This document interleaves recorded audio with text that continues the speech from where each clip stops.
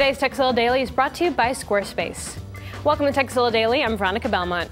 The Windows desktop is a convenient place to store your favorite files and folders. And if you have that desktop loaded up with dozens of icons, you probably also have them arranged just the way you want it.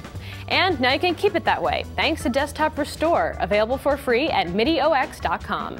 Once installed, just click your desktop, select Save Desktop, and click OK. Then if your icons ever get rearranged, just right-click your desktop again and choose Restore Desktop, and all your files and folders will pop back to where they were when you saved it.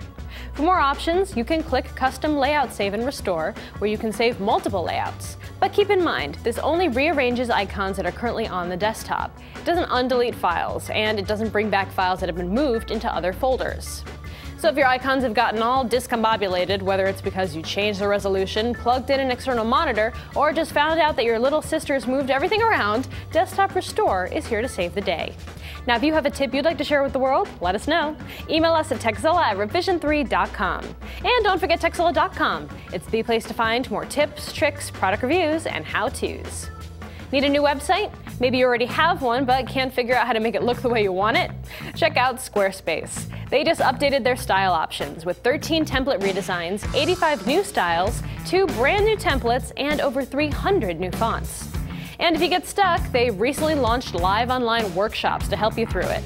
And if that doesn't cut it, you can always turn to their 24 hour support, from which you'll get a super fast response to any question you might have. Trust me, I just did it today. Go to squarespace.com and enter coupon code TEKZILLA4.